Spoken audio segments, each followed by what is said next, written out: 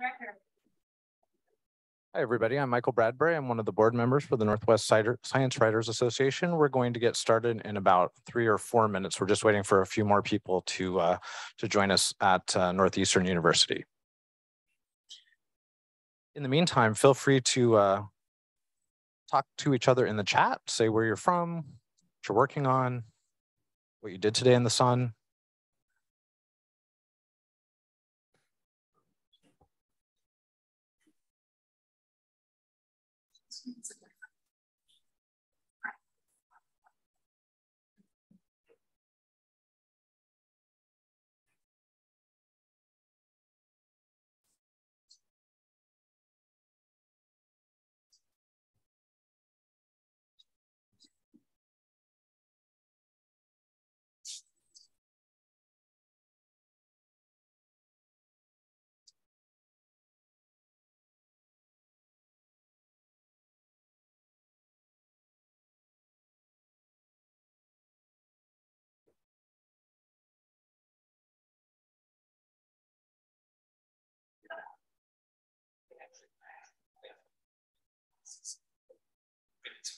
Yeah, so in the process of but it's, it's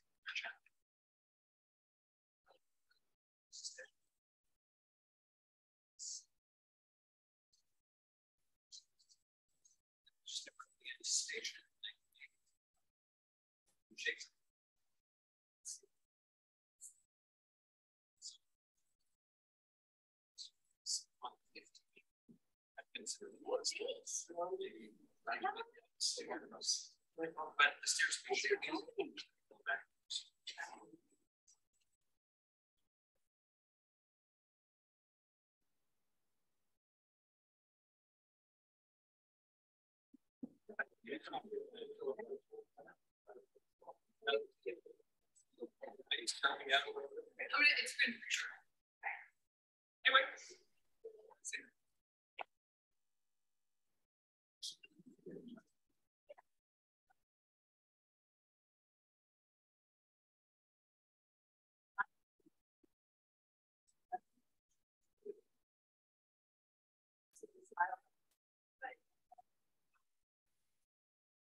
think Jaren's going to start.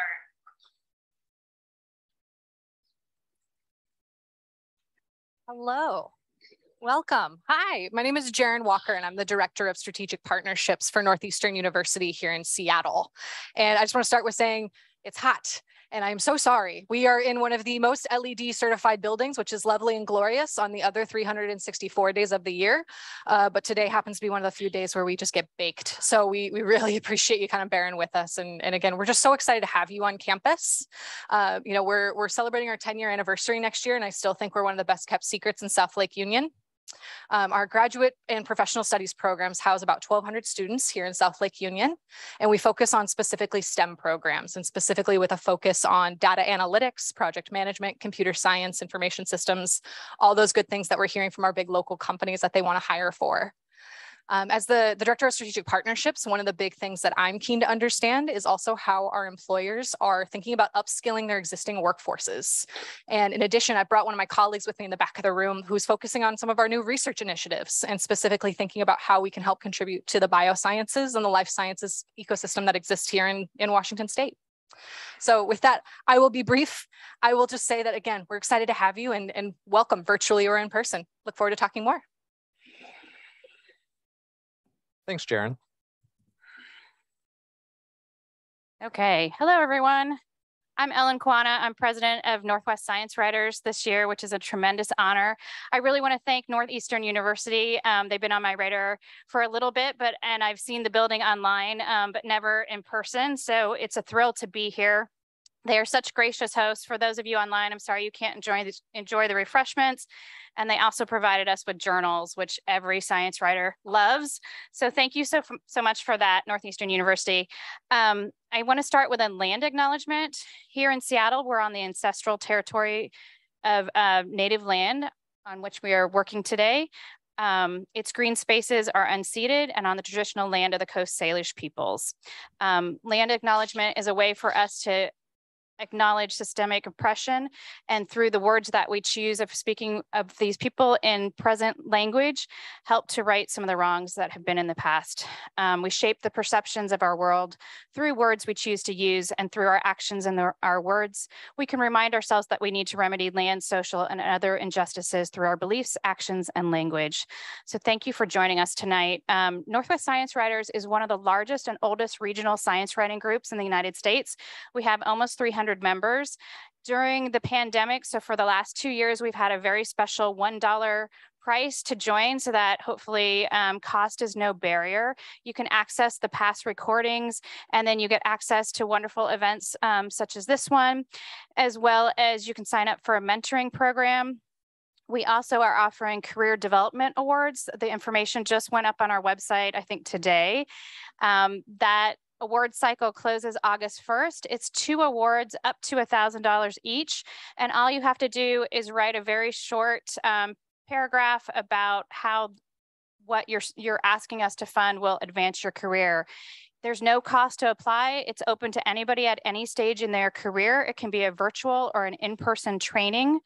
Um, and so that's a really, really great um, perk that we offer of being a member.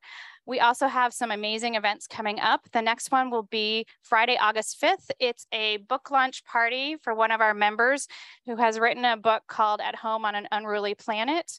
It's going to be in South Lake Union nearby at the Collective. Um, so be sure to register for that and it's open to the public. Um, so now I want to turn it over to Michael Bradbury, one of our board members who put this together and to introduce our panel. So thank you so much.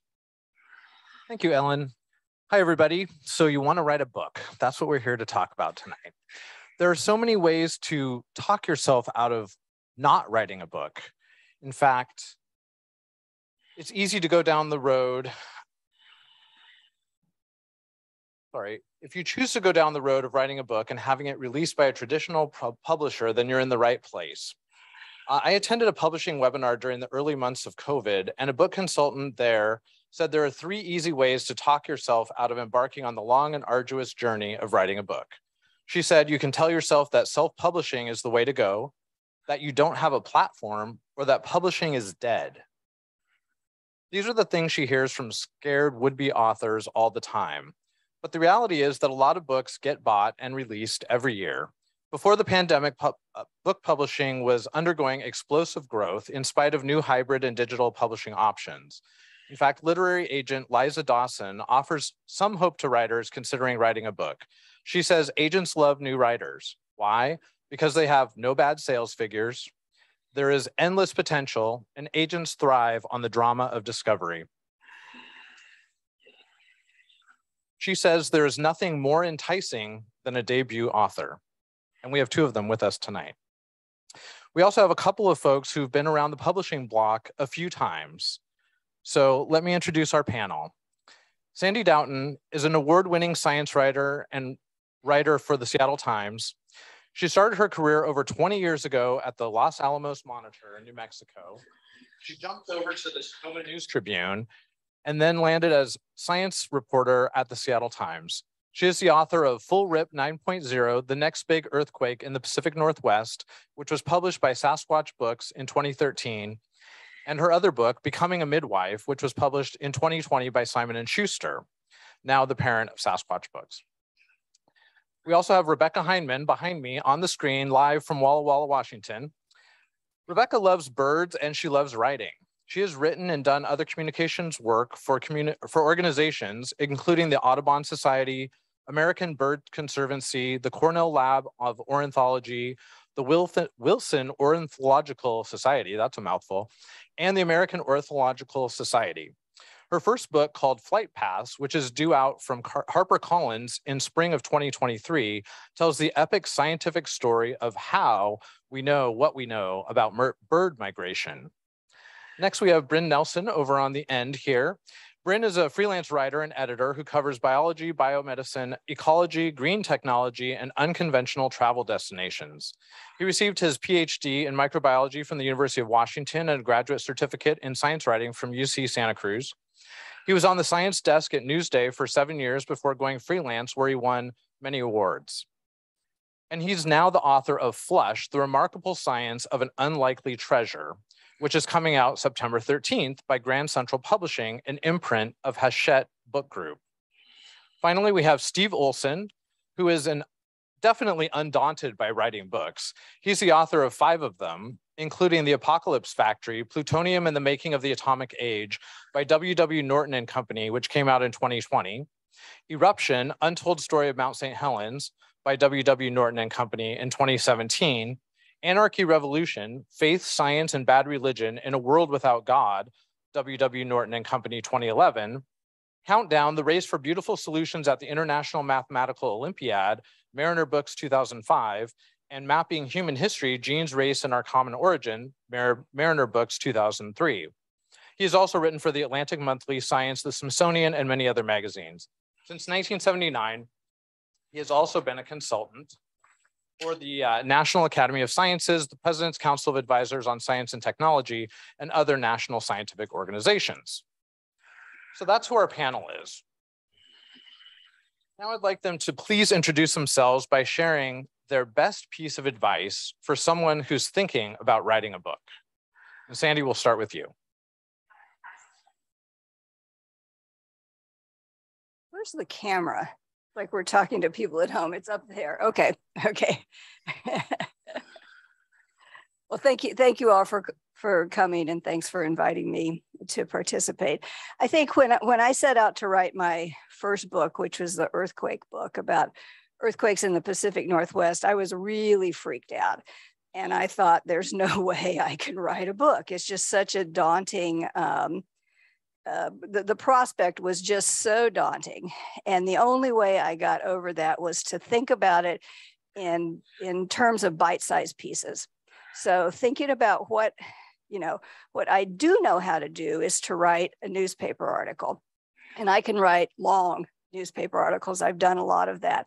So that's the way I tamed my panic, I guess, was just to just think about every chapter as a really long newspaper story. And um, to me, that's the only way I can do it, just to break it down into chunks, things that you already know how to do. To, to go next. Rebecca, you can hear me, right? Uh, you were a little bit quieter there, but were you asking me to go next or? Okay.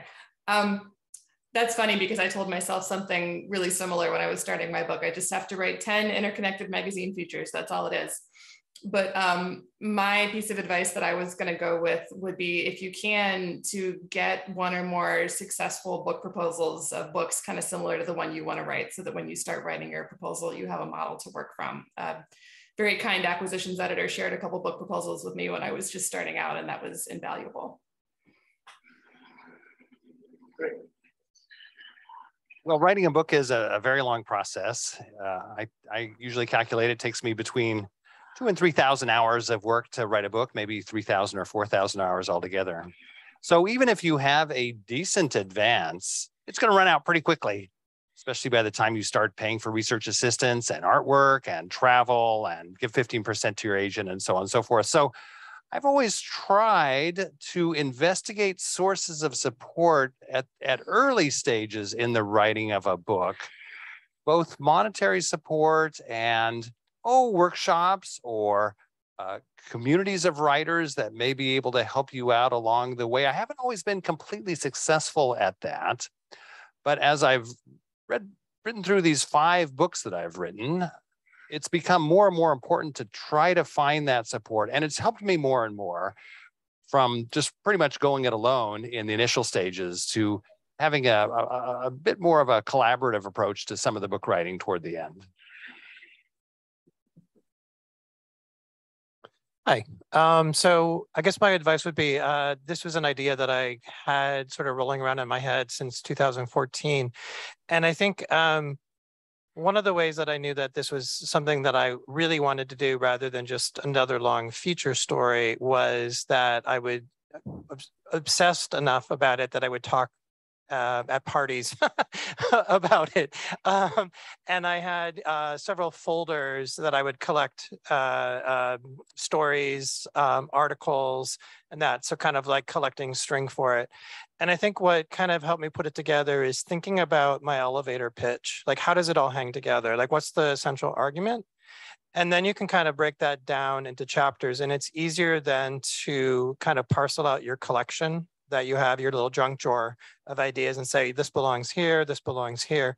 And it helps, I think, a little bit um, getting past the kind of imposter syndrome of like, uh, you know, why me, why this? And I think getting that confidence and um, understanding that you really do have an interesting idea and you've already done some of the work in trying to organize it and put it together, I think that really kind of helps from the start.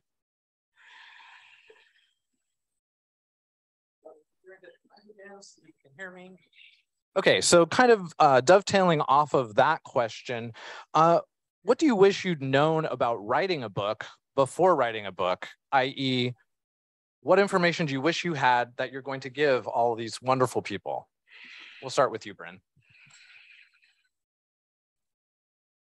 Well, I guess I guess financially, one of the things that I wish that I had known before was that your advance isn't really an advance. Um, and now um, a lot of publishers, uh, they used to divide the advance into three parts, and now it's divided into four parts, um, usually. And so what that means is that the number that uh, they give you is in your as your advance, 15% goes to your agent, and then it's divided four ways. So you really only have like a fourth of that uh, as your income when you're actually working on your book, because you get the first part when you sign, you get the second part of that when you deliver the finished manuscript. The third part is when you actually publish. And then the fourth part is when the paperback comes out, which can be a year afterwards. So it's quite spread out. So I think that knowing that um, more in advance would have helped me, I guess, sort of chart out financially how this was going to work.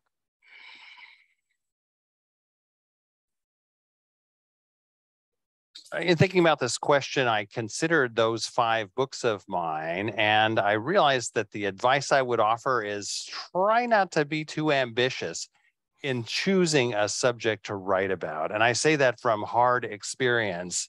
My first book, Mapping Human History, was written in the early days of genetic anthropology. And so I said, well, I will just take this emerging information, mostly from mitochondrial DNA and the Y chromosome, and sort of reconstruct all of human history on the basis of that. I'll tell the tell the story of the past hundred thousand years of human history. That was a mistake, I'd say. that that book did well and was interesting. But for instance, when you have a whole chapter on the origins and evolution of language over time, you have, you have to do a tremendous amount of research. So then my next three books, the middle book was actually co-written with someone else. And if anyone's interested in the co-writing process, I can talk a little bit about that. I co-wrote that book with the lead singer of the punk band Bad Religion, who's a, uh, a lecturer at Cornell so I, I, the second, third, and fourth books went fine. And then in the fifth book, I decided what I would do is tell the whole story of the atomic age, as reflected in the title of that book, through the lens of, of the Hanford Nuclear Reservation. I grew up in a, a small town just 15 miles away from Hanford in eastern Washington. That too turned out to be a mistake because so much has been written about not only the Manhattan Project, but everything subsequent to the Manhattan Project, the Cold War, the cleanup, the environmental problems, the health effects of the downwinders. And I essentially had to read, if not all of that, a significant portion of it. I had these huge stacks of boxes filled with books that I had to have, at least have some familiarity with in trying to retell that whole story from the invention of the neutron in 1930, the discovery of the neutron in 1930 to, to the modern age. So that would be my one piece of advice. That, writing those two books was really a hair pulling experience because I, I, I bit off more than I could chew.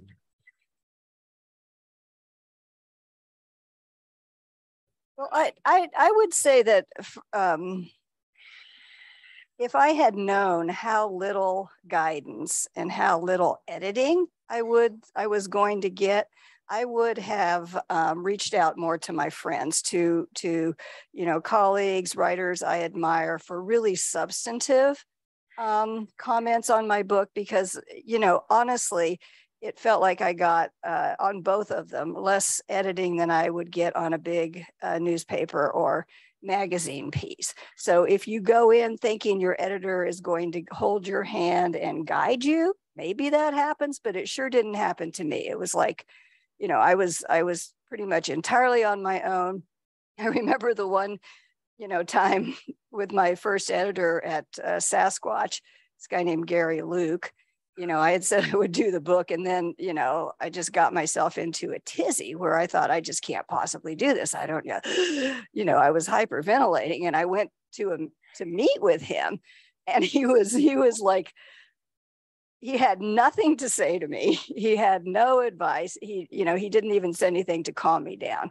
So uh, understand that you're going to be on your own. And if you want good um, comments, turn to turn to other writers that you admire.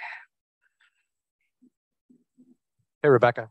Yeah, I also was shocked at how little editing my editor actually did when I finally turned in my whole manuscript. And along with that, the first thing that popped into my mind with this was I wish I had known a lot more about photos and how photo permissions work. I am not a copyright expert and my publisher seemed surprised when I asked if they had like a template photo release form or something that I could use to have people sign for photos, they, they seem baffled as to why I would need such a thing, even though of course the author is completely the one on the hook for figuring out all the photos and photo permissions. So I wish I had known a lot more about how photo permissions and copyright work ahead of time. Great, thank you. Well, as most of you know, we are holding this hybrid event in a new world where some people are here with us and others are online. So hello to everyone out there. Uh, please use the Q&A box to send in your questions. Someone is monitoring them and we'll try to get to some of those at the end. Um, unfortunately, the COVID pandemic is far from over, yet people are still writing books. So let's talk about how to write during COVID. Both Bryn and Rebecca had the opportunity, we'll say, to do that. So I'd like both of them to tell us what it was like and how it affected their reporting and the overall scope of the book. And we'll go ahead and start with you, Rebecca. Um, it certainly affected some of the decisions I made about the travel that I did. I ended up making I would have to stop and count now. I made several several domestic trips, some within driving distance of my house, and a couple flying for research for the book. And I don't know that I would have done more travel if it weren't for the pandemic, but I definitely early on when I was first selecting where I wanted to go, I didn't want to, I didn't, I, I wasn't ready to get on a plane yet. And so I, there were one or two projects that I didn't visit simply because the timeline of when the field work was happening was, was very soon and it was too far to drive and I didn't feel like getting on a plane quite yet. Later, I did get on a plane to do some, to do some research trips, but there were a few projects that I might have gone into the field to see that I skipped because of being a little leery of traveling so soon in the pandemic.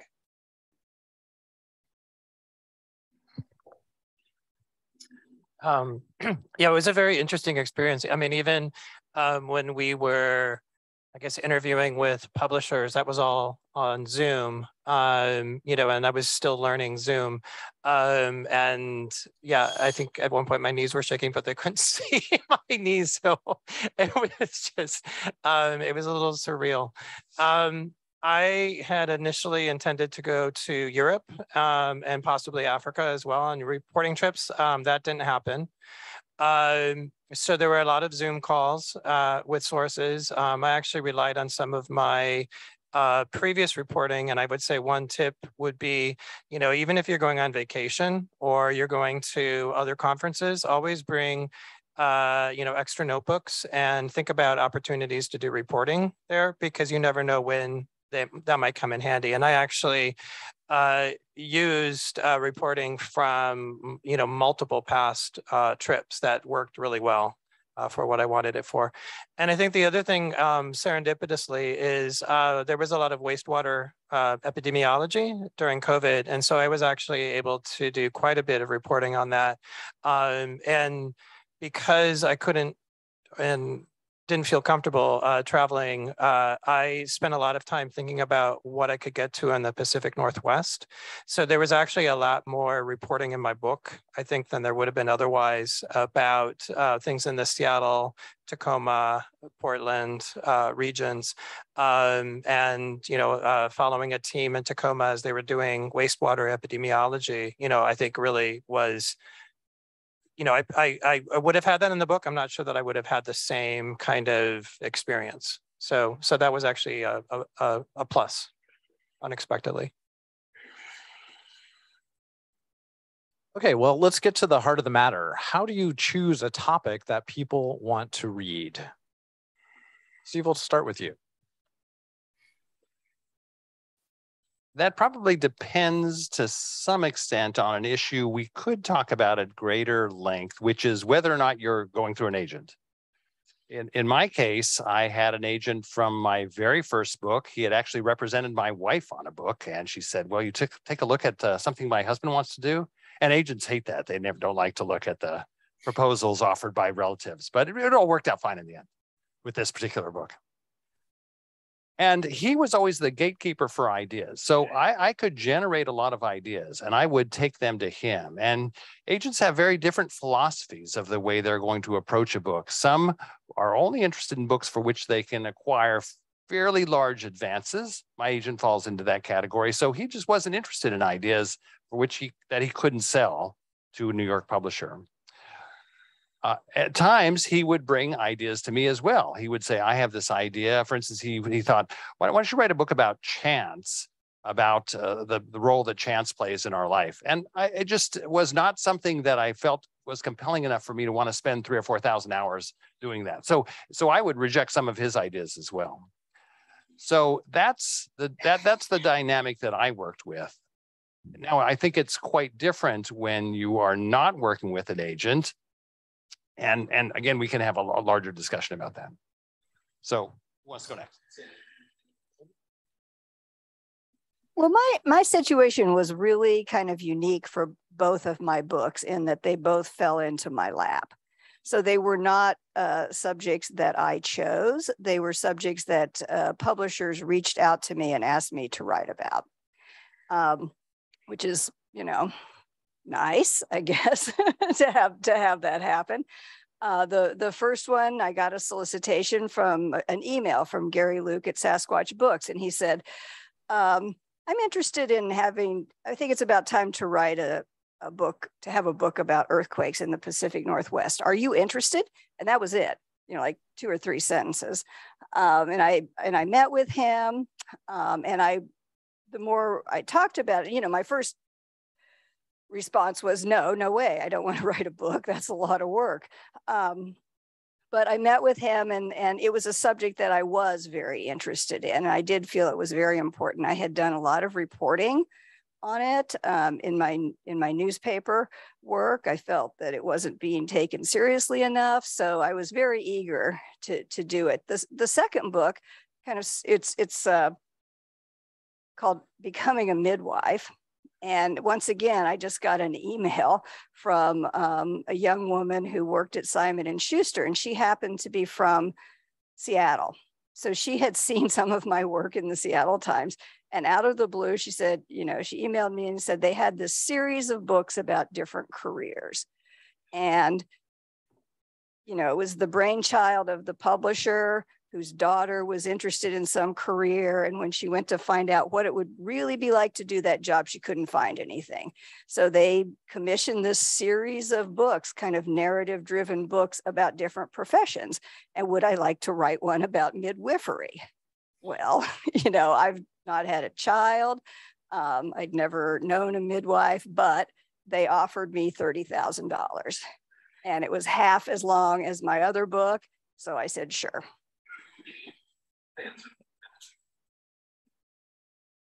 Um, so my idea actually came from uh, the uh, an article that I did for a magazine called Mosaic, a British magazine, and it was on uh, the rise of fecal transplants, and um, it actually, uh, you know, did well in that there was a lot of attention in the UK about it, and so that kind of got me thinking, like, okay, well maybe people are interested in this, and I would talk to some people and they would be, ooh, gross. Tell me more.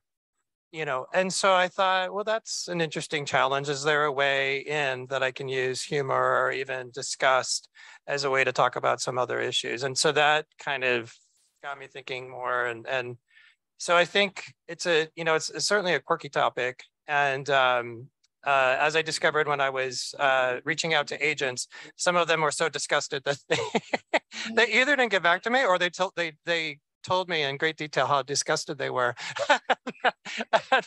which was which was interesting that they you know bothered to spend that much time and energy.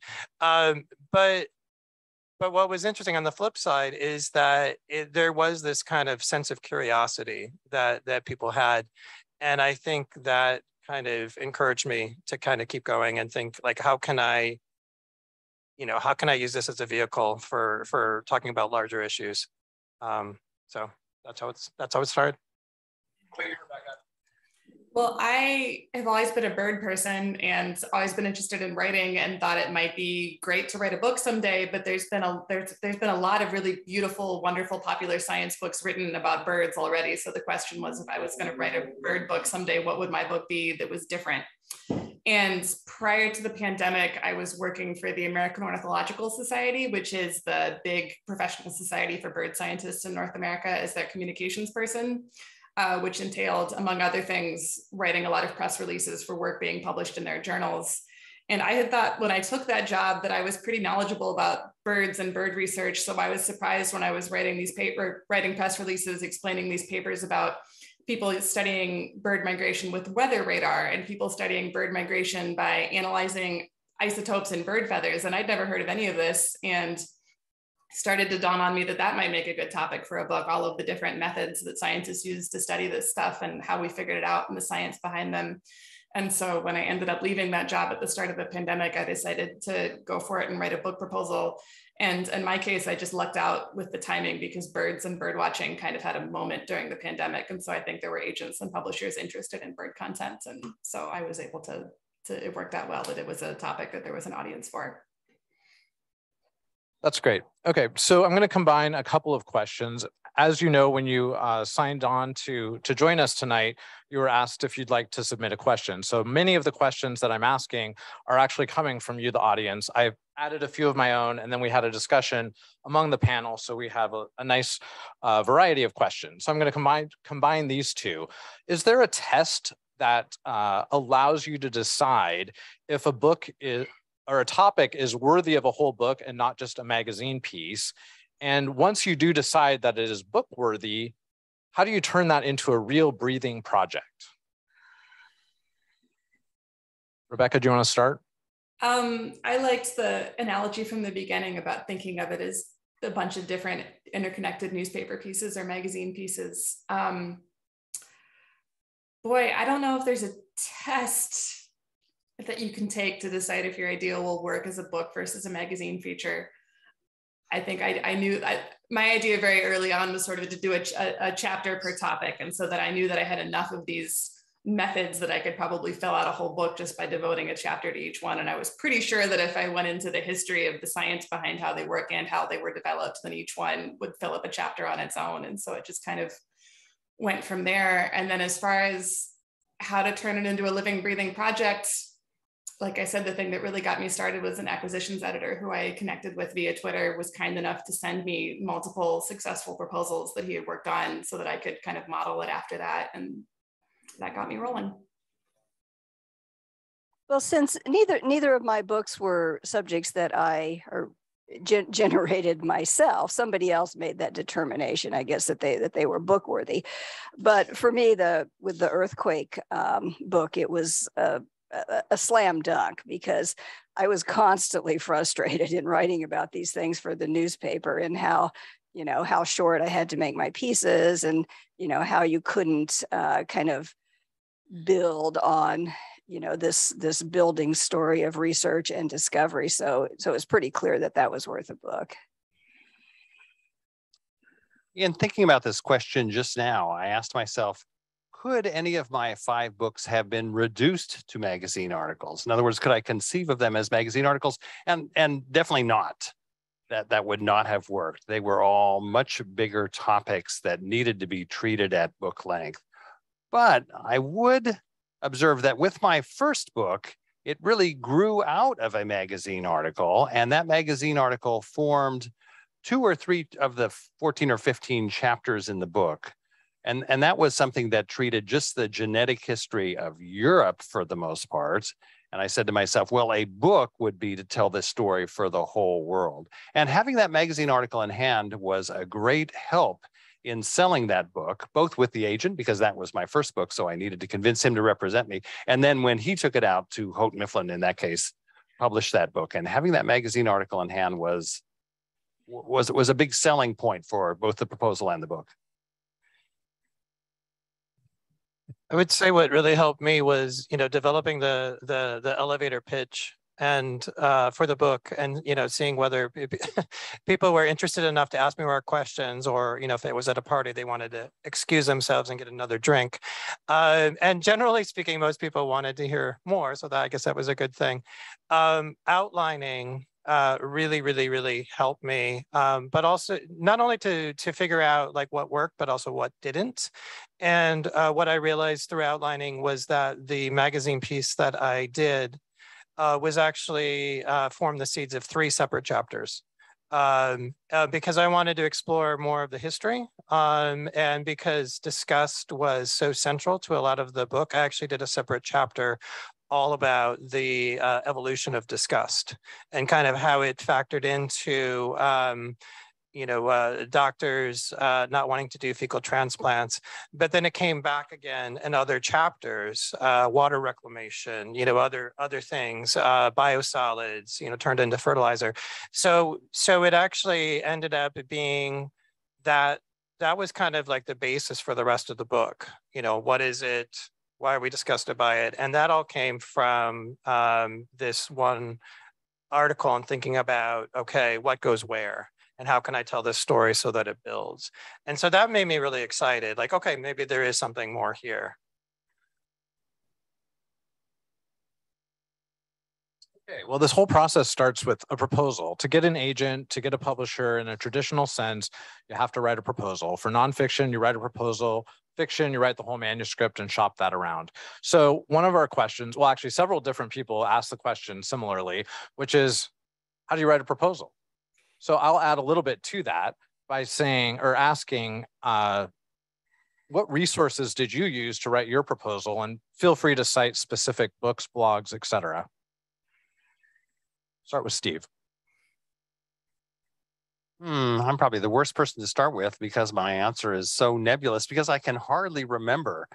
My agent required me to rewrite the proposal so many times. In contrast to the, to an earlier, when, when you were saying, Sandi, you didn't get much editing, I did get a lot of editing, both on the proposal and when I turned the book into all of my editors. They they did both line editing and substantive editing to the book, and that was hard. So the proposal was this constantly evolving thing and of course, revising something is always difficult, but it almost always, 99.9% of the time, makes something better. And so if if I didn't have that, I would have needed some other way to get that kind of feedback to work on the proposal and get it to the point that it needed to be at. Yeah, I actually um, received a lot of feedback from my agent uh, first on the proposal. I mean, I guess even to land an agent, um, you know, a lot of times you have to put out the the the the overview and you know a, a type of proposal. I guess you know it will often look quite different by the time you're ready to uh, uh, shop it around to to uh, publishing houses.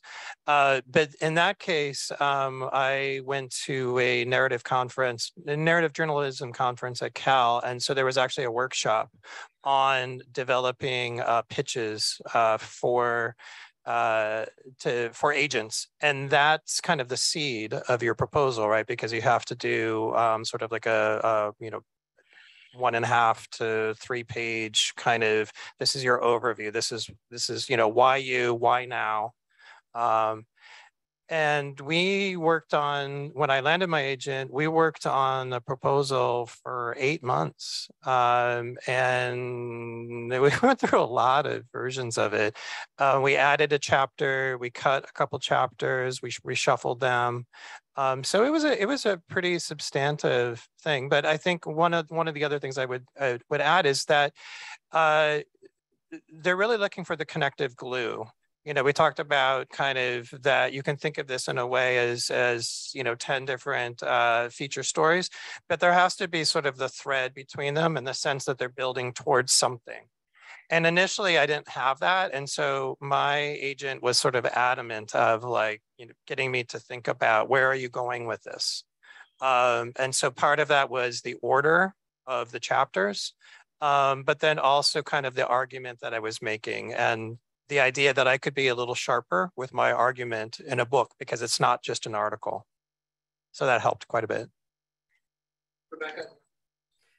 I mean, I already shared a couple times that I was very fortunate that I had a book proposal, actually a couple book proposals to work from and model mine after. And I think that made an enormous amount of difference uh, to the extent that when I signed with an agent, she actually had very little additional work that she asked me to do on the proposal. We, I went from signing with an agent to actually shopping it around to publishers very quickly.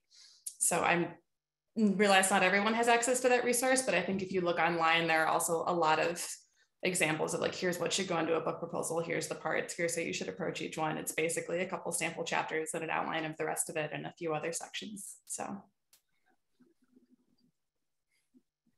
Well, again, my situation was so unusual for the midwifery book. I didn't have to write a proposal at all because it just kind of, it's the these the books in this series kind of follow not exactly a formula but you're just like a narrative spending time with someone doing this particular profession. For the earthquake book i you know i wrote a couple pages just kind of based on my previous reporting. And, and remember though i'm working without an agent so that's a totally different um, situation and maybe i would have made more money if i had an agent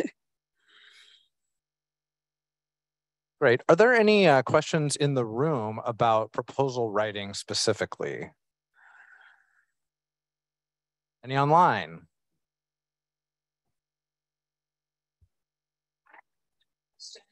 Yes. Hi, um, I have a question about the pitch for an agent. So the proposal is not for an agent, right? You have to pitch an agent first. What does that look like? How do you do that?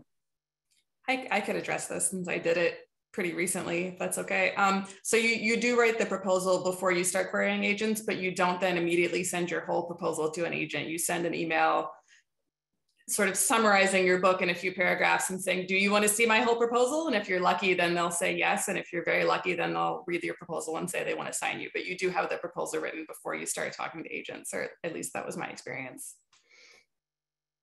Yes, what she said but also uh, one one one thing that is um, you know your the the product that you send to an agent yeah may look vastly different from what you end up sending to uh, to a publisher.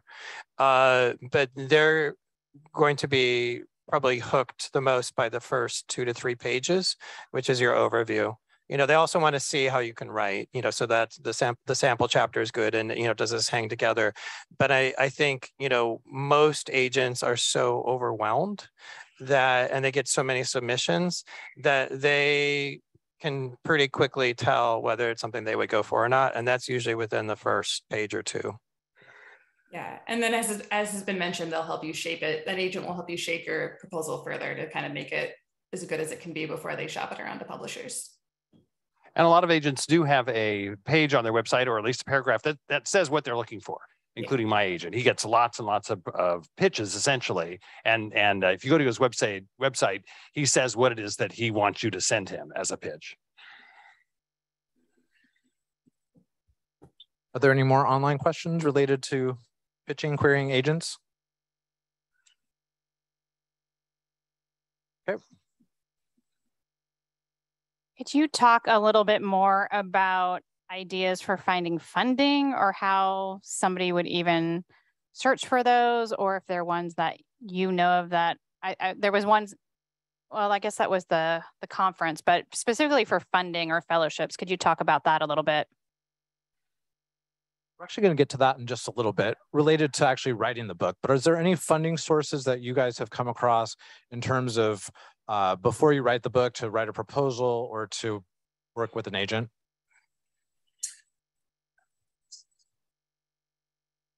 just on the way walking down here, I was thinking about this. I, am on the Speakers Bureau for uh, Humanities Washington. It's a two year gig. And uh, it's a group of maybe 30 or 40 people who essentially uh, write proposals for the organization Humanities Washington uh, about topics that they're interested in and, and that they want to uh, be able to go out and give talks on. Now, some of us have written books and we're sort of using this as a way to promote our books, but other people just have really fascinating things that they've been working on. Each one of those talks generates an honorarium. And for someone interested in writing a book, this is just a, you know, I think there are lots of opportunities like this. You could try to join that speakers bureau because a lot of people are sort of in the pre-book writing phase and take it on the road. And you'll modify your you'll work on your ideas you'll work on a talk you'll have powerpoint slides.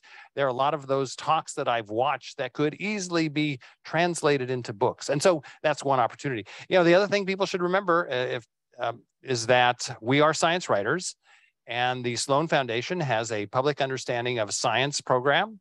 And for many, many years, decades at this point, they have been providing grants to writers, uh, sizable grants for that matter. Uh, you don't always get them, but it is well worth applying in almost every case because it's a very sort of idiosyncratic program in which if the program director sees something he likes, he's going to provide you with some money to, to write that book. And Sometimes it can be as large or larger than your advance for that matter.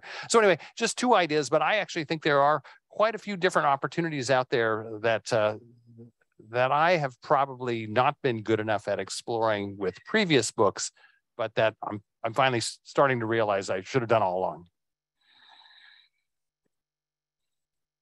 Great, thank you. Uh, so nobody really had any trouble securing an agent, did they? Bryn, did you struggle a little bit?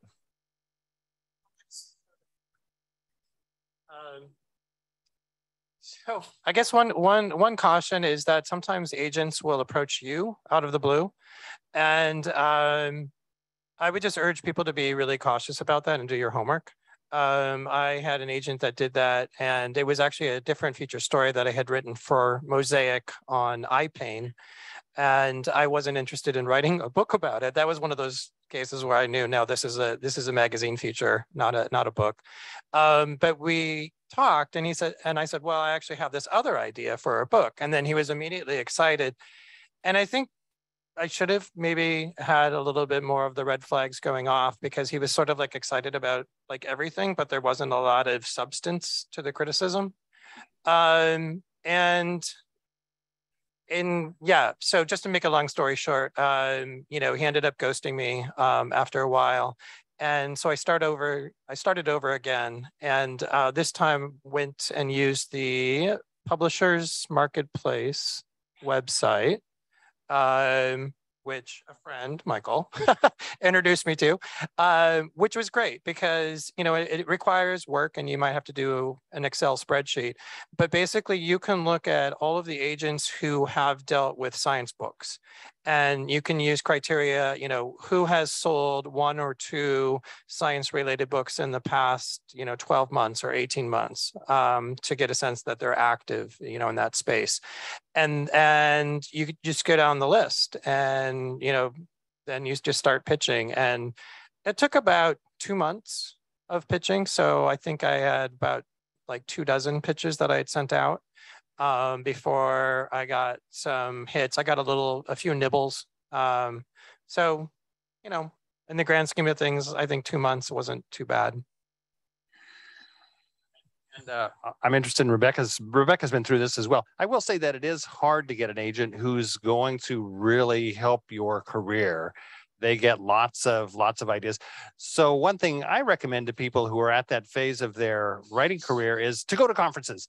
The pacific northwest writers association so not the science writers but the broader group of writers here in the pacific northwest has an annual conference And there are lots of agents that come to those conferences and you get to do interesting things like pitch slams where you sit down with a, a sequence of agents and, and provide your ideas and the agent says good idea or bad idea and gives you some ideas to correct it. And I think you can also just pick up a lot of information about the agents who are there and the agents that you might want to try to find. But let's see what Rebecca says. Yeah, the one thing I would add is that if you're trying to build your list of agents to query, another place to look is that if there are recent books that you like and that are in a similar vein to yours, look at the acknowledgments and see if they say who their agent is. Um, that's actually how I signed with mine. I use I did use the web sign up for Publishers Marketplace to start building my list of people to query, but I happened to be reading a book about the natural history of butterflies and sort of the history of people's fascination with butterflies and flip to the acknowledgments. And it's like well that's interesting. I'll look that agent up and add that person to my list. And that's who ended up signing me. So it's another another way to find people to contact.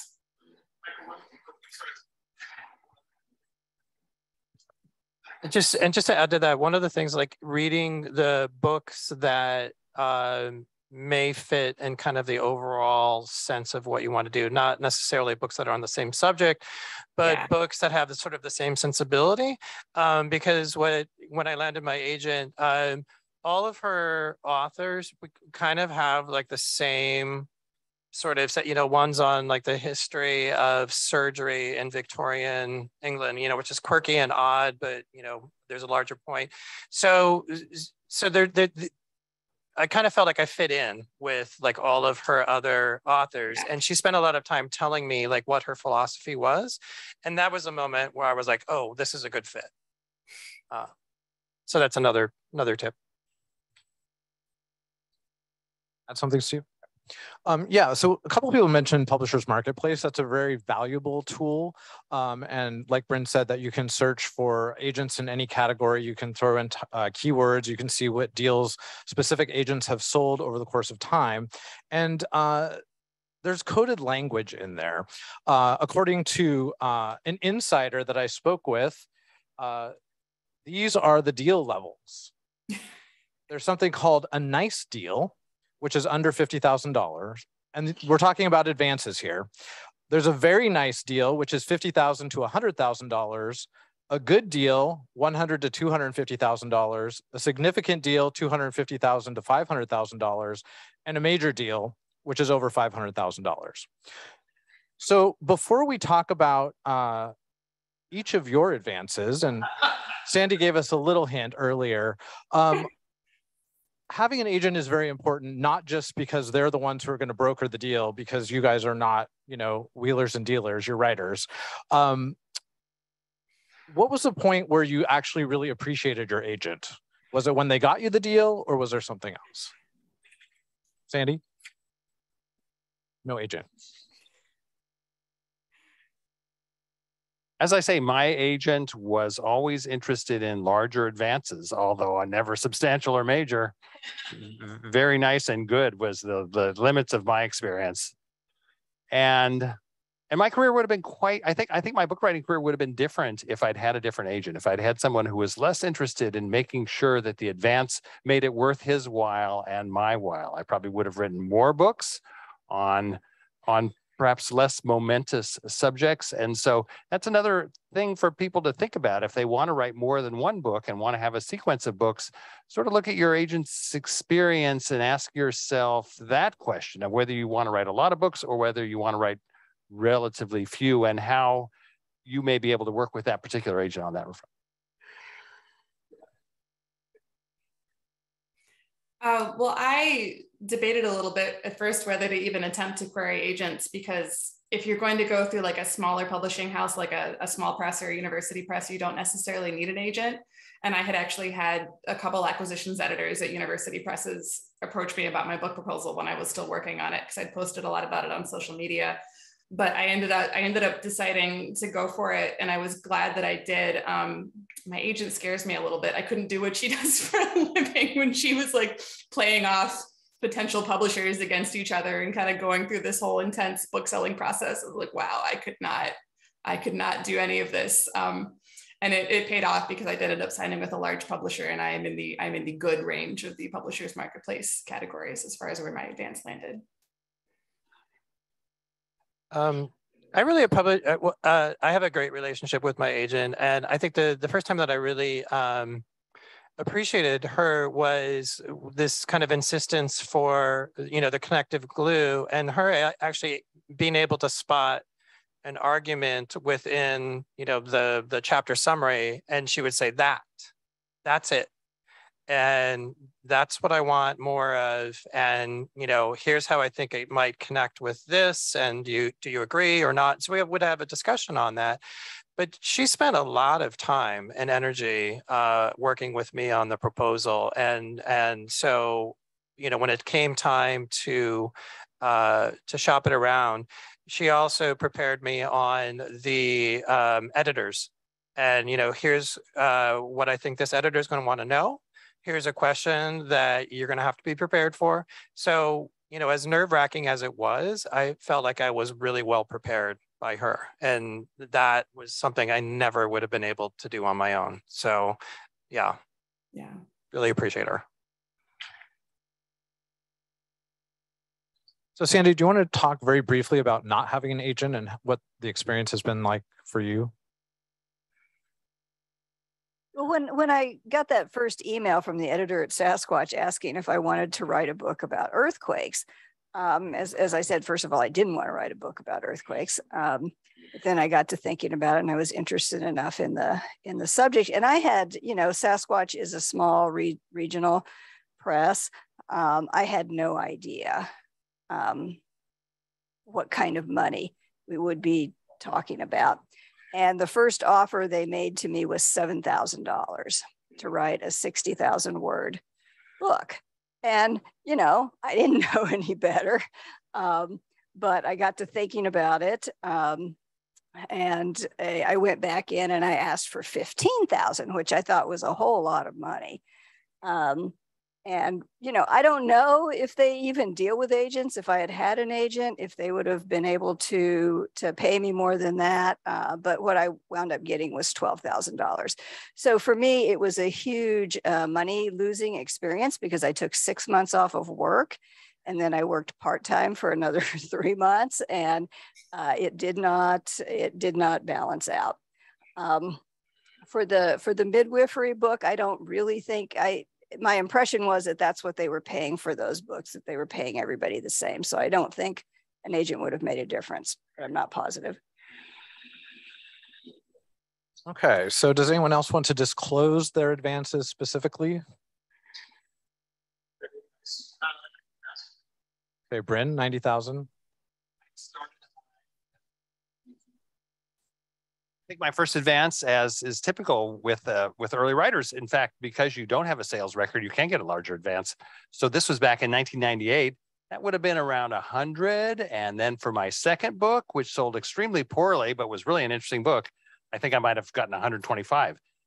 And that's in the early 2000s. My more recent advances have been 75,000 and 80,000. So the number, uh, even over the course of 20 years, has gone down.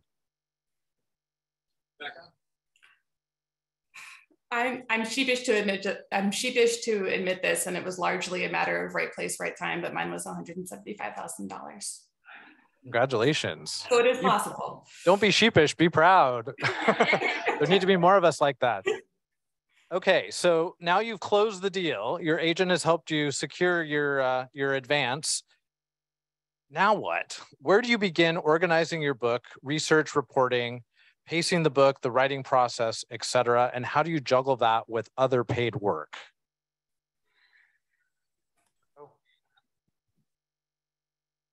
Um, so I guess for the organization question, um, I I thought about Scrivener, um, but I was kind of freaked out, um, and I didn't want to try and have to learn something else. Um, so I went with what I knew, which was nested folders. So I used a lot of color coding and folders within folders. Um, and that worked for me. Um, and the one thing that I wish I would have done more is to be really, really, really fastidious about uh, footnotes from the beginning, because uh, I can't tell you how many times I had to go back and try and figure out where have I found? Where did I get this? Fact, um, even though I thought I was being really good about it. So that you know, I can't stress that enough because it will just make you tear your hair out. Um, the other thing is I dropped most of my gigs and I kept the ones that were the highest paying, the highest paying and the least pain in the ass. Um, so because I didn't want to have to use a lot of of my mental capacity on the other projects that I was working on, because there really was. I mean, there was a lot of reading of research papers. You know, um, I, you know, several dozen books. Um, so there's a lot of of mental energy that goes into it, and so that was a calculus of how can I keep part of my salary um, so that you know I can help pay the bills. Uh, you know, it helps that if you have a partner, you know, who's also working full time, who can help you, you know, through that. Um, but yeah, that was the that was the calculation. So I I kept two clients, and so I probably worked on the book maybe two thirds of the time, uh, to seventy five percent of the time, just to keep some other money coming in. Uh, yes, I, I too use folders and boxes. I probably had 300 books uh, organized by boxes. I'd have a couple boxes on Nagasaki and so on and so forth.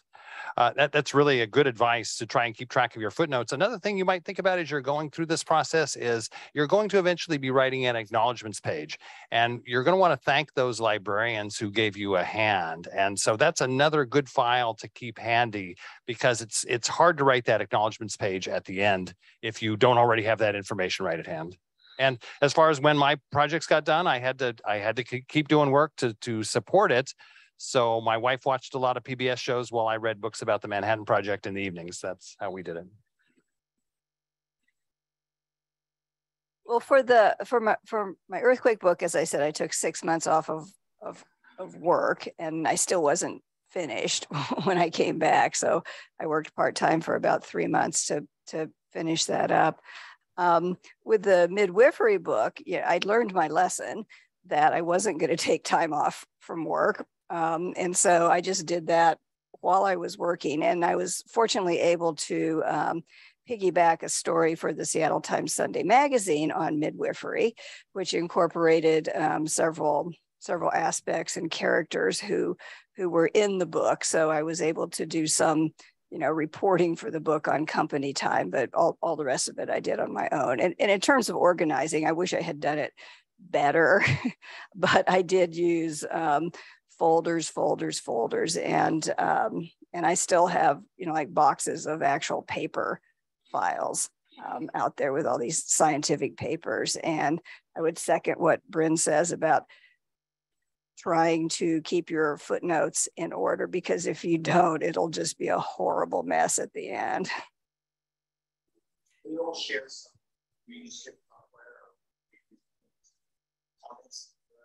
any tricks you set them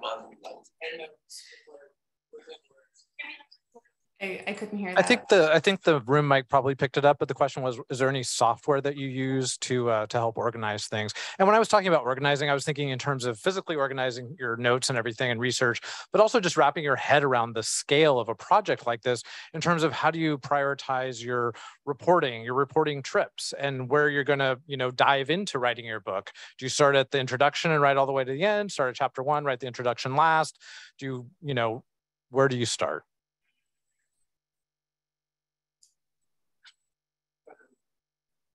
Yeah, I mean, I haven't I haven't addressed this question yet, so I can go. Um, as far as organizing goes, I did use a piece of software called Zotero pretty much just to organize my endnotes. I just used it to make formatting and, and organizing my endnotes and keeping them linked in the right places easier. And I did I did do that right from the start and would strongly recommend that. And as far as organizing my research, I also just had files on my computer. I had one for each chapter, and then in there would go any like PDFs of papers that I downloaded that went with that chapter, and recordings of any interviews that I had done. And that was that was pretty much it. And my publisher also, as soon as I had signed, asked me to put together a timeline of how I was going, how I proposed to progress through writing the manuscript and finish it on time, maybe because I'm a first time author. And so I just decided, all right, I'm going to give myself this number of weeks for each chapter.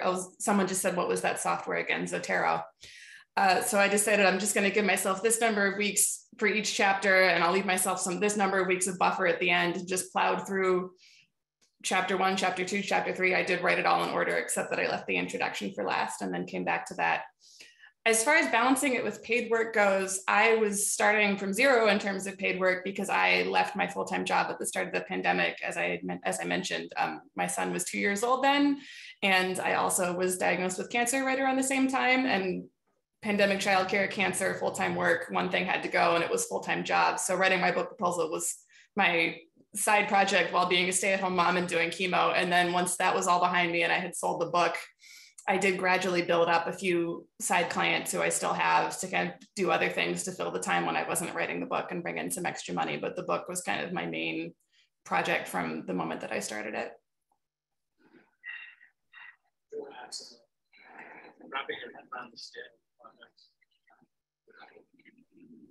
Well, like I said earlier, the only way I could think about it was in terms of discrete um, pieces. I knew, I knew that there had been this incredible burst of discovery around um, earthquake risk in the Pacific Northwest, and I knew a lot of the players. So I knew that I wanted to treat it uh, as much as a narrative as I could. And there were there were a lot of kind of good natural stories there in the material, just in the way that it unfolded and the people involved. So wherever possible, um, I tried to to make it as continuous a story as possible. There, there, there were sections, you know, where I just had to plop in, you know, stuff on this, stuff on buildings, you know, and that and that kind of thing. But um, but I, it's incredibly helpful if you feel like you have a true story to tell.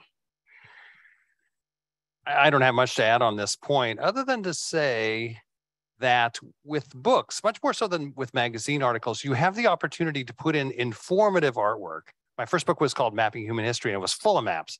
My second book was about a math competition and actually had the, the equations these kids were trying to solve in the book.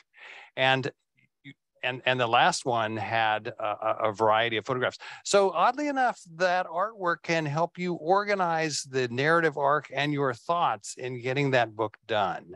Some books don't have any artwork, but mine always have, and it's been a great help for me to think in terms of writing around the art that's in there. Um, my book doesn't have any art in it, and the publisher specifically did not want it and because it just I guess, for for their style. Um, they just wanted the the narrative.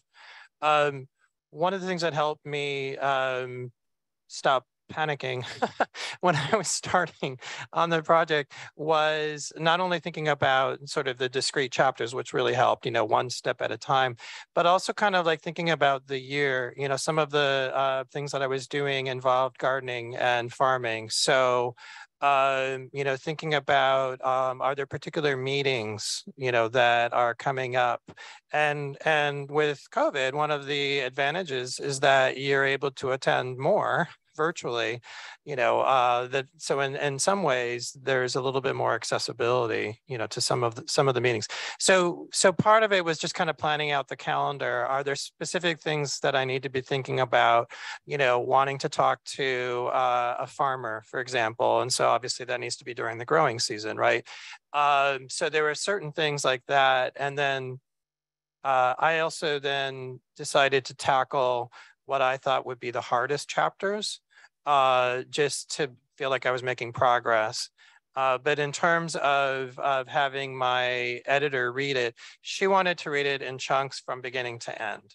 So my book is in three sections. And so, you know, once I kind of got a, a grip on some of the harder parts of the book, then we did go kind of in order of, uh, and we had started with 14 chapters. We dropped two, which was a very good decision on her part um, because I was a little overambitious.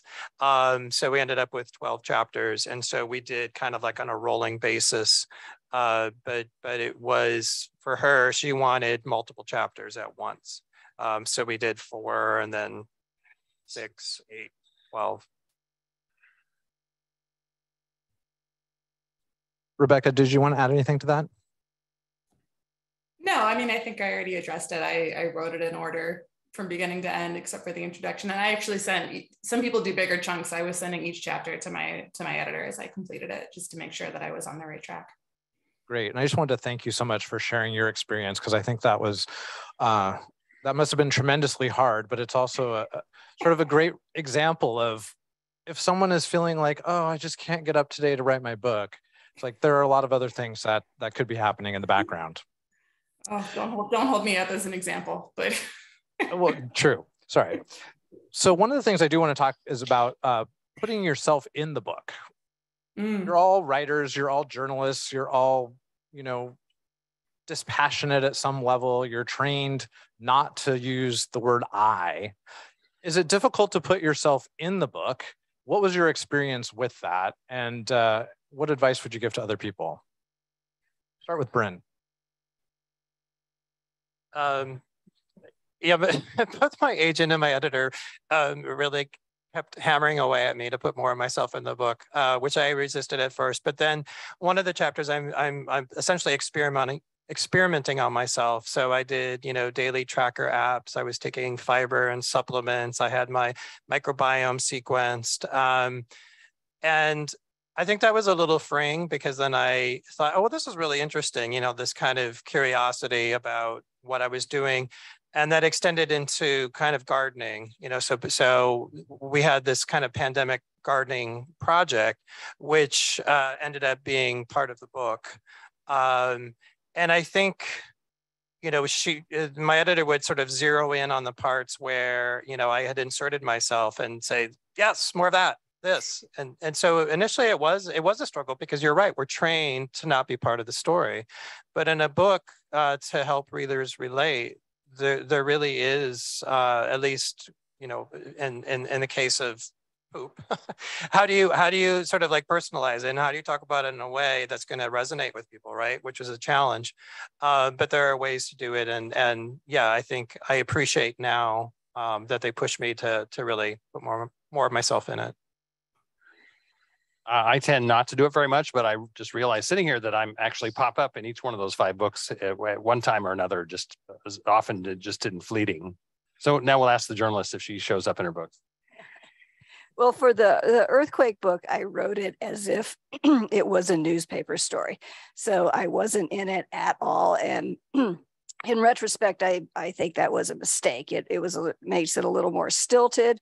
Um, you know, just the ability to say, you know, he told me, he showed me. It's like, you know, you're there, but you're not, you know, necessarily, the book isn't necessarily about you, but you know, this pretending that you're not there at all is kind of stupid.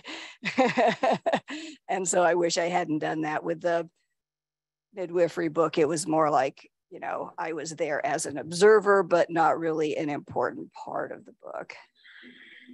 Rebecca? I am, although I've sort of wandered into it at this point, I am not a, a, trained journalist. I have a science background, but my my writing experience is all self-taught. So I have a little bit of a difference entry into this field. And it, it, feels like another lifetime but actually the first sort of writing that i did regularly was for years back when blogs were still a thing and i was working in outdoor education. I wrote a natural history blog about the nature of the places i was living. And of course that was all first person narrative. That's what blogs are.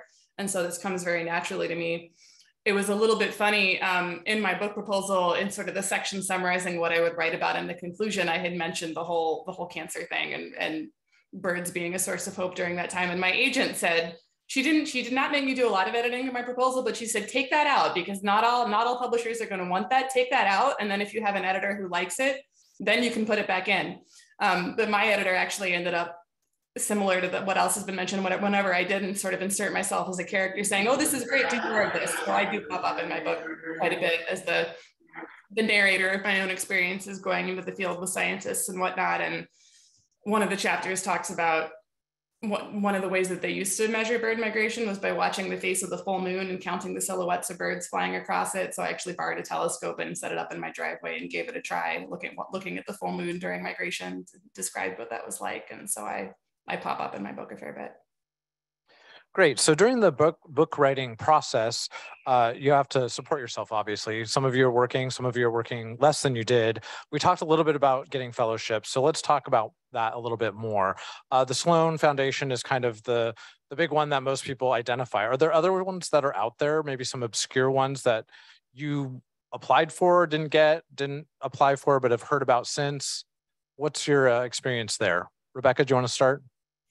I, I don't really have anything to add to this one, I'm afraid. I haven't done any applying for fellowships. I because I received a large advance and I have a spouse who works full time, I it wasn't really an issue for me.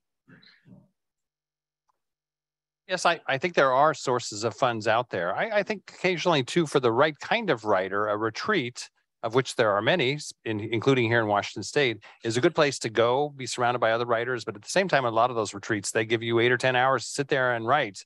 And you're expected to do that uh, before showing up for dinner in the evening. So I, I think those kinds of opportunities could work as well. I, I don't have a lot to add. Um, I think it was a, a, an unusual circumstance during the pandemic, but a lot of like the fellowships actually took a hiatus. Um, so there actually were a lot that would have been available, and they said, yeah, um, maybe in you know 2022.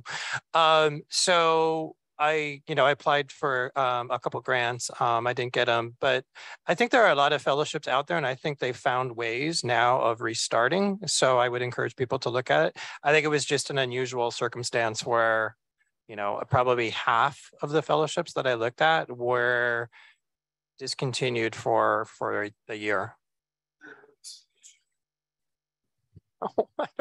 Oh, I, can I can follow up if people are interested. But uh, I, there were a couple sites. I mean, it was a lot of Google search Google searches uh, to try and find. You know, I think I was interested in um, like writing retreats, for example. Um, that would just give me kind of the space to do that, and um, I really couldn't find any of them that would work for the timeline that I had. Yeah. Okay, so in the writing process, did you guys find that you were writing a different book than the proposal that you initially submitted? And if so, does that even matter? Well, let's start with Rebecca.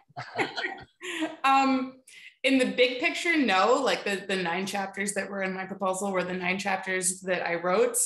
Um, but in the smaller details, yes, I think if I were to go back to my proposal and look at kind of what stories and what researchers I thought I was going to use to kind of illustrate what I wanted to get across in each of those chapters, I think that changed dramatically because, and, and that might have been partly because I was a novice writer and I didn't do as much research upfront as I possibly should have. I might be very lucky in that it all worked out in the end. But I felt like each time I would start to work on a new chapter, even though I had obviously done some research on it for the proposal, as soon as I started doing a lot more reading on it, I would discover stories that I hadn't known about when I was writing the proposal and researchers who I hadn't known about and would end up deciding to go in a different direction. So no, no in the big picture, but yes, very much in the, in the, in the little picture, if that makes sense. Does anybody else want to address that? I had an interesting experience with this last book in that when I turned in the manuscript, my editor said, Wow, this book has too much science in it. And I said, Well, uh, but it's all right there in the proposal. This is this is exactly the book that I proposed, and that was an important uh, negotiating point as we uh, compromised on how much science was going to go in the book. Well, one one good thing about not having um, written a proposal and just being told to write a book about midwifery, for example. I, you know, I looked at some of the other books in the series, so I got a sense of what they were um, interested in and, and how and how they were structured. But I learned a lot about midwifery, and as new things came up, I was able to incorporate them. Um, even though I hadn't, you know, discussed it with the editor. So, for example, I found out that a lot of midwives uh, train and then go work internationally in places like refugee camps and you know very traumatic situations um, with with women you know under under very bad conditions. And so i i added a, a person who exemplified that in a section on that. I think one of the changes um, that i mentioned a little bit was you know and in putting myself in the book more um, but I think the analogy that really helped me was thinking of myself as a tour guide and that you're basically taking readers by the hand and saying, trust me, I'm going to lead you through this really interesting journey and realizing that you don't, you're not writing an encyclopedia of you know because i was i was kind of terrified at first that you know i was going to leave out something major. Um, and that can be paralyzing and i think i finally realized no you know you can just read them eh, lead them on an interesting journey and if there's something they're really interested in they can always learn more about it right um, so that was that was a nice way for me to kind of think about not only how I was portraying myself in the book, but then also how I was connecting the book together. Um, you know, I'm this tour guide and I'm taking you somewhere. Um, you know, trust me, follow me. Um, and in doing that, uh, we uh, got rid of a couple chapters because they just were not strong enough. And we took the best parts of them and kind of incorporated them in other places. We added a stronger beginning to kind of set the the the the, the base. So uh, you know, and some of the the specific examples changed, um, which is I think par for the course. You know, you some of them aren't as strong as you initially thought, and then during your course of reporting, you'll find something that really excites you. Um, and and you know, my editor was really excited about that, that kind of the discovery process, and I think that kind of comes through as well. Like, oh, you know, look what I found. um, so yeah, fortunately, they're flexible enough. I think a lot of of editors are, you know, to a to a to a point. But you know, in this case, it was it was a good thing. Great. We could go on all night. We're running short on time, but I'm going to go to a couple of questions in the audience here. Go ahead. I, I can repeat it. Yeah, I was just wondering on that point, Bryn, like, what level of change do you feel like you would need to run by your editor like if you're getting away from your original proposal? So the question is, what level of uh, buy-in do you need from an editor if you're really veering far away from your original proposal?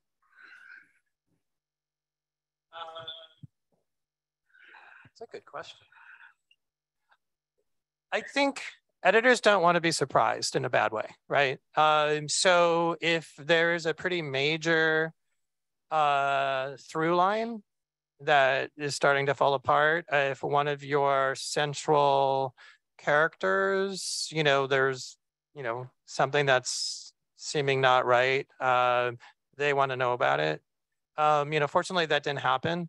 Uh, but there were a couple times where I would say, you know, I really, I really want to you know have this in this chapter. I'm not quite sure that it's going to work out uh, but you know i want you to know about it. So i think just like making keeping them in the loop you know whether it's just regular emails or um, you know we would have regular zoom discussions um, but i think that's that's the one key thing is don't no no bad surprises. And and and you can it you can be quite flexible you know I, I i don't know what percentage my book was different from the initial proposal but you know even the even in the chapter that i had already written uh, that was probably like 40 50% different by the time i was done with it this time around. So it changed quite a bit.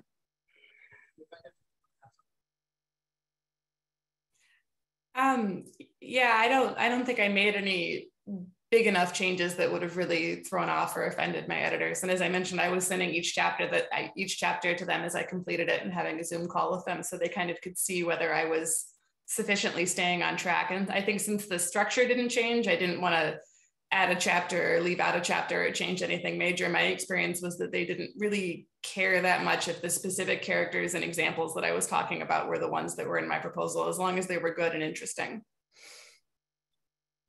Great. Okay, I want to compress a couple of questions here in the interest of time to talk a little bit more about the editing process.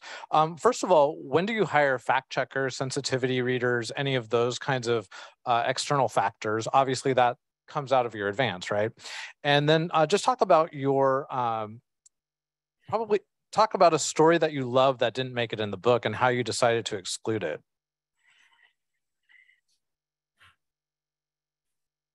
I can't I can't address this because I never hired fact checkers, and there's uh, there's much less fact checking of books than is done at major magazines, and so uh, you just have to rely upon yourself to get the fact checking right.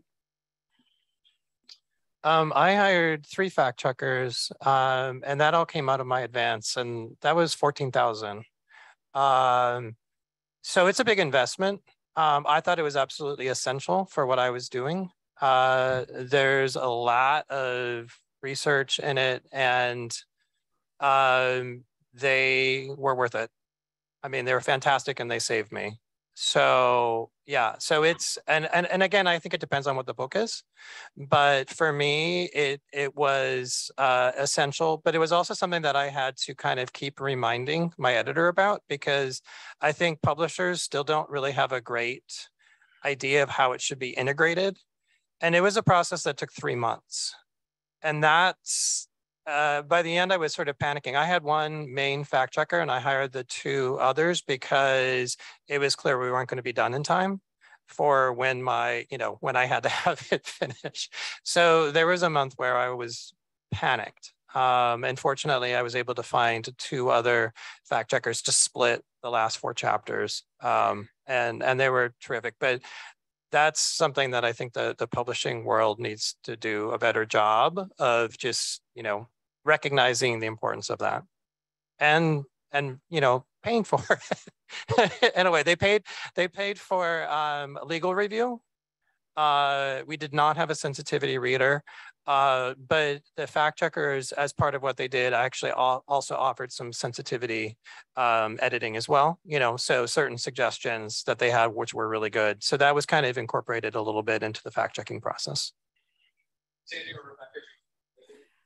I did not work with a fact checker or anyone like that. Um, if I am lucky enough to write a second book, I would like to. But as was just mentioned, it's not really not only do you have to pay for it yourself, but there's not really a natural point where it kind of fits into the publisher's flow for the timeline that they want to be on and when they want things from you. So it's it's definitely a, an extra lift for the author. And I did not do it this time, although I would be interested in it. I, as I mentioned earlier, I got very little editing, um, but the one thing that was surprising was with the midwifery book, since it was a major publisher, they did hire a lawyer to go through it. And I probably had more conversations with her than I had with my editor. And she was very careful because she didn't want them to get sued. It was, it was really uh, illuminating the things that she zeroed in on. Great. Well, we're running very low on time, but I want to compress uh, a couple more areas. One of the things I want to do uh, do want to talk about is promoting the book. Um, you're not a writer or a salesperson. Social media and digital promotion, book tours, whether they're virtual or in a bookstore, TVs, podcasts, op-eds, excerpts, pitfalls, and pluses. What is your experience with book promotion? And I think I want to start with you, Rebecca. Um, so I am a pretty, pretty active Twitter user, and I think that, and I was prior to writing a book, and I think that actually contributed a lot and helped a lot. Um, not only have I has it been helpful? I think just for, I don't have a huge Twitter following or anything, but I think for promoting it and getting it out there, but also just for connecting with sources. Like when I started trying to figure out what projects I might go in the field for, I literally just put on Twitter, like, who are the ornithologists who are working with these techniques in the next year and got tons of responses and was able to figure out, you know, kind of fill up my calendar with research trips. And I even when I was writing the proposal, I tweeted a lot about what I was working on. It wasn't a secret project or anything. And that's how I had acquisitions editors at small presses like DMing me saying, Hey, I'd love to see the proposal when it's done. So that was that I think has been a huge plus. Um, and I've, I've, I've dabbled in Instagram and mailing lists, email lists as well, but Twitter has really been invaluable for my whole book process. Does anybody else want to add that? I only occasionally enjoy promoting a book, but just in case we don't get to this topic, uh, we've made book book writing and the publishing process sound fairly onerous and thankless, and that's not at all true. Uh, book writing is really some of the most satisfying writing that I have ever done and it's and and you and, and people have different reasons for writing a book i think some people really like to get out there and promote them and i will do that to try to promote that book. But being able to go into a library and having your book sitting there on the shelves as something that people can can acquire for decades really and having it be the go-to source uh, uh of a particular you know all, all of us have written now books that if people want to know about earthquakes or they want to know about uh, uh, flushing um, they will go to those books. And that's something you don't get from a magazine article. So that's just a, a an expansion of the promotion question. You haven't, you haven't started promoting.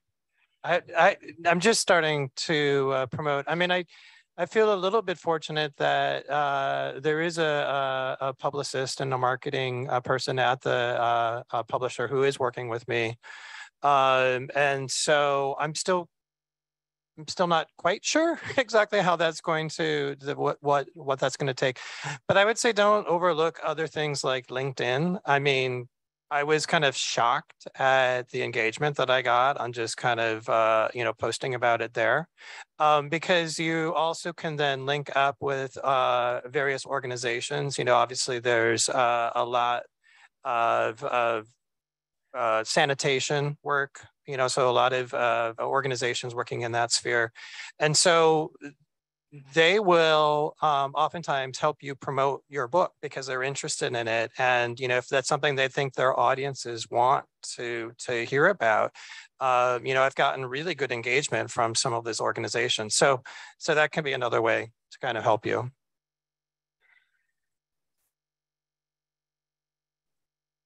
What the, on the point that Steve made about how satisfying it is to have a, a, book out there, just to see your name on it, I would say I really agree with that, particularly with the book about earthquakes. And I have become kind of the go-to person uh, for radio interviews, for for television interviews. Um, so that you know kind of in, indirectly raised the profile of the book and then i also um, you know this kind of interesting little side gig in giving talks was a result of of this book. And at first i did them all for free because i didn't think you could charge. And then it's like oh hey i could get paid for this.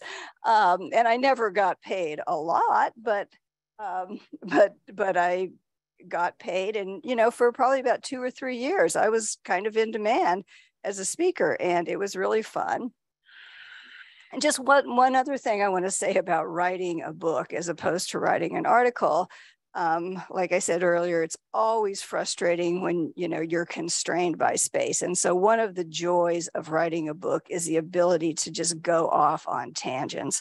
As long as they're interesting, uh, you you can follow that and you can include it, and that's really sweet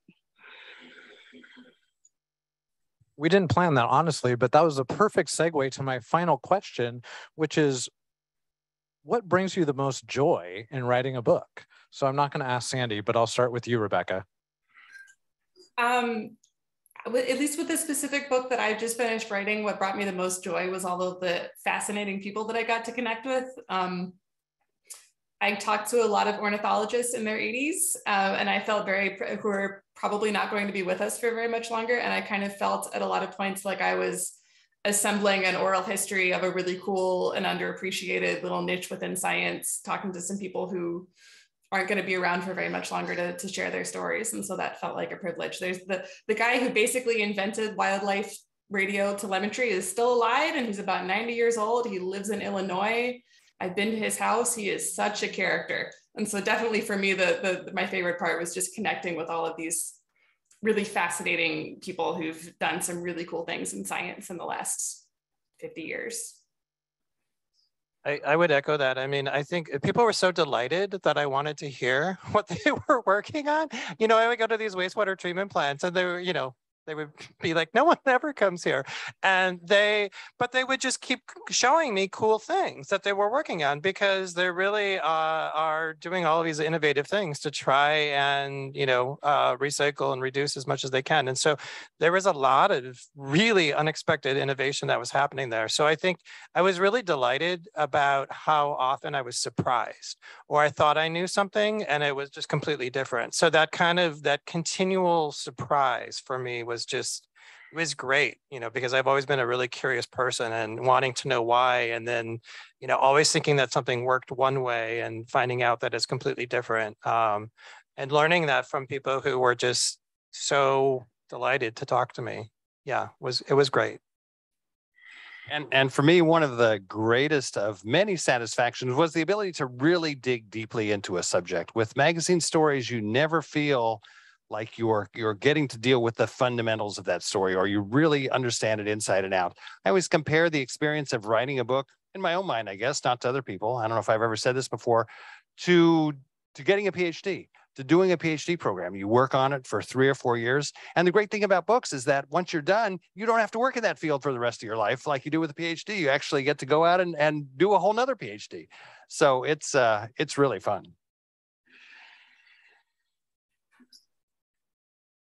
Great. I just took a quick look at the Q&A. I think we've covered almost all the questions. So I'd just like to thank our panelists so much for uh, sharing all of their wisdom with us tonight. And thank you all for tuning in and, uh, and joining us. And for those of you in the room, I'm sorry that it's 90 degrees, but you know, summer has arrived in Seattle and that's just what happens. So I'd love to thank uh, the Northeastern University as well for hosting us. They were very kind to, uh, to donate the space this evening. So everyone have a great night. Thank you.